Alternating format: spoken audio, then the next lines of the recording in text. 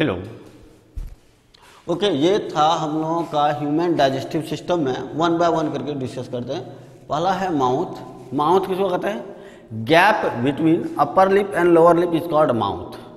mouth second है buccal cavity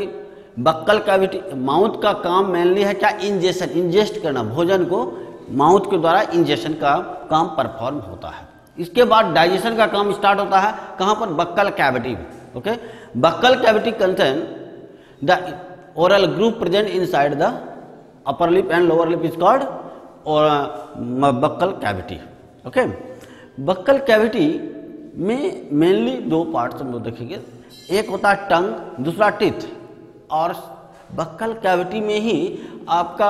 digestive glands का पहला डाइजेस्टिव ग्लैंड जो बताए थे that is called salivary glands also present inside the buccal cavity ठीक है बक्कल कैविटी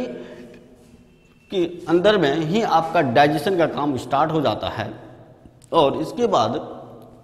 आपका डाइजेशन काम सिर्फ यहाँ पर स्टार्च का होता है जिसको माल्टोज में कन्वर्ट किया जाता है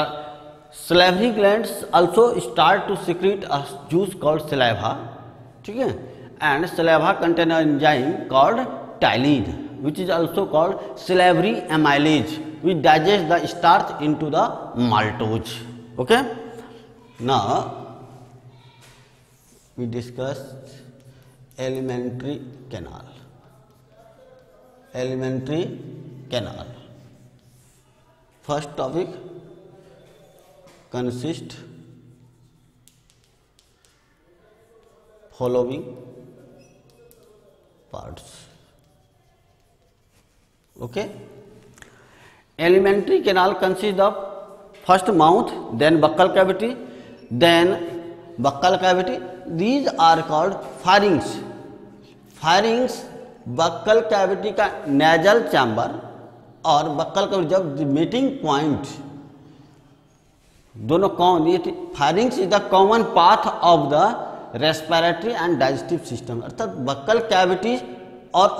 नेजल चैम्बर दोनों ओपन होता है फरिंग्स पार्ट में ये कॉमन पाथ है यहाँ से आपका सेपरेट होता है नीचे में बक्कल कैविटी है और ये जो है आपका ये क्या है नेजल चैम्बर है आगे जाके दोनों का कॉमन पाथ हो जाता है ठीक है अब ध्यान देना है ये फायरिंग्स है इसके बाद आपका ये जो है आपका ग्लॉटिस कहलाता है ये इपीग्लॉटिस है और यह ध्यान देना है ये जो ओपनिंग पार्ट है इसको कहते हम लोग क्या ग्लॉटिस इसको क्या कहते हम लोग ग्लॉटिस ठीक है ये ओपनिंग पार्ट और इसके ऊपर ये लीड लाइक स्ट्रक्चर्स हैं तो जिसको हम लोग इपीग्लॉटिस कहते हैं its main function main functions of the epiglottis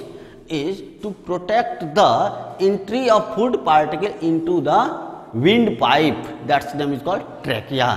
during the ingestion of food it completely close the opening of the trachea और विंड पाइप ठीक है and prevent the entry of food into the wind pipe okay चलिए and next these are called oesophagus and no digestion with take place inside the oesophagus okay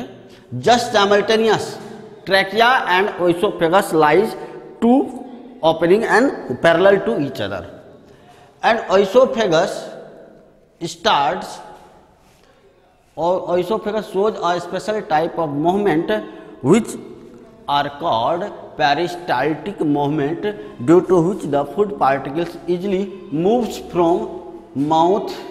buccal cavity to the stomach. Okay? A special type of movement which uh, help to move the food particles from buccal cavity to the stomach. Okay? Now, these are called bag like structures which store the food temporarily and that name is called stomach. And stomach, wall of stomach have a many different types of digestive gland that name is called gastric glands. Gastric glands secretes a special type of juice that name is called gastric juice. Gastric juice contain the SCL, mucus and pepsin and after it are long tubular structure that is called small intestine. Small intestine are the longest part of alimentary canal and digestion of the food particles completed in the small intestine and these are called after the small intestine start the large intestine small intestine also divided into three parts that is name is called duodenum jejunum and ileum duodenum jejunum and ileum and duodenum jejunum and ileum after the ileum part the large intestine we starts and large intestine the first part of large intestine is called cecum and last cecum colon and rectum so colon divided into three, three parts ascending colon transverse colon and descending colons ठीक है and lastly rectum and op opening of rectum is called anus. Anus is also a sphincter in nature. These are the various part of the digestive, digestive system.